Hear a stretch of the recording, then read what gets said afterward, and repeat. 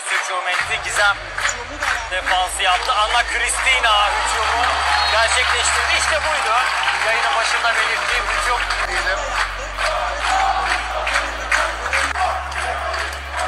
Anna Kristina servisi karşıladı. Hücumu da yaptı. Çapraza döndü. Bir sayı daha buldu Anna Kristina.